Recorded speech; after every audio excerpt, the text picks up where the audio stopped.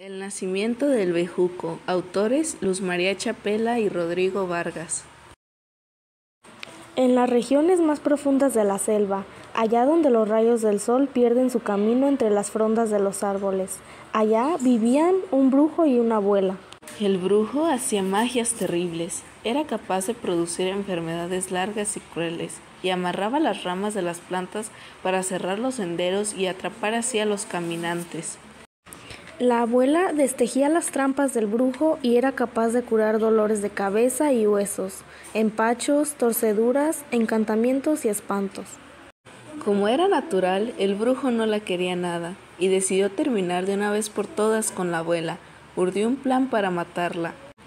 Se convirtió en puerco de monte y bajo un cielo sin luna en silencio esperó el paso de la abuela. Lo único que brillaba aquella noche en la selva era un par de colmillos y una mirada fiera.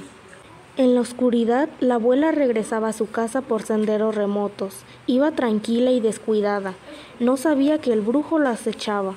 En el momento preciso, el brujo convertido en jabalí saltó sobre ella y le clavó con fuerza los colmillos. La abuela se desplomó sobre la tierra. Entonces, cuerpo al suelo, la abuela usó un último recurso para salvarse. Gritó, ¡Kin! Con toda su alma y su voz despertó a peces, pájaros y zaraguatos. Había convocado al sol que en esos momentos, silencioso y alerta, hacía su recorrido nocturno por las regiones subterráneas. Kin, el sol, la escuchó y brotó en su ayuda con energía dorada. El sol surgió del suelo y avanzó por los cabellos de la abuela que crecieron, se alargaron, treparon y se enredaron entre las ramas de los árboles. El espectáculo era admirable. La selva entera se mecía al vaivén de las lianas mágicas recién aparecidas que formaban inmensas telarañas.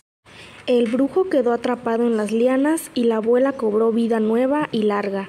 Así fue como nació el bejuco que vive, crece y florece en los bosques y selvas tropicales.